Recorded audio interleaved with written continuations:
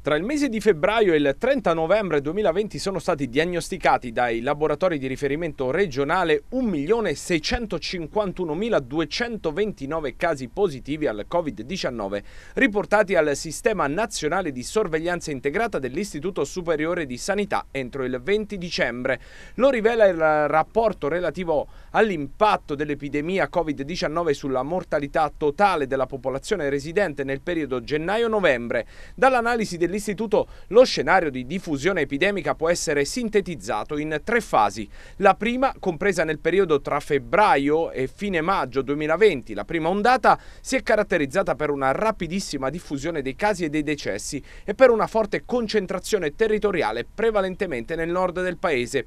Nella stagione estiva, da giugno a metà settembre, fase di transizione, la diffusione è stata inizialmente molto contenuta, ma alla fine di settembre si sono identificati focolai sempre più numerosi numerosi in tutto il paese.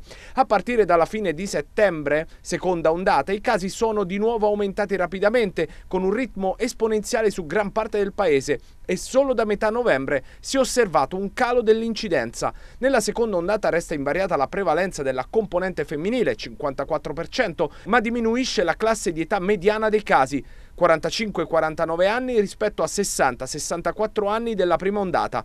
Cala in percentuale il dato dei contagi registrato nella popolazione molto anziana, 80 anni e più, che passa da 26% nella prima ondata a 8% nella seconda. Tale diminuzione è verosimilmente in gran parte dovuta all'aumentata capacità diagnostica tra le classi di età più giovani e nelle persone con sintomi meno severi. Nel periodo tra febbraio e novembre si sono registrati 57.647 7 decessi avvenuti in persone positive al Covid-19, nel cui ambito è rimasta pressoché invariata la percentuale di soggetti in età inferiore ai 50 anni, che si attesta all'1% per entrambi i generi. La classe degli over 80 risulta quella con la percentuale più alta di decessi Covid-19, il 60% dei decessi complessivi.